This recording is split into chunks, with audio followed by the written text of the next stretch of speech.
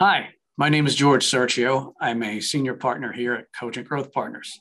I recently wrote a blog post that's called Are You Really Considering an Arranged Marriage Merger?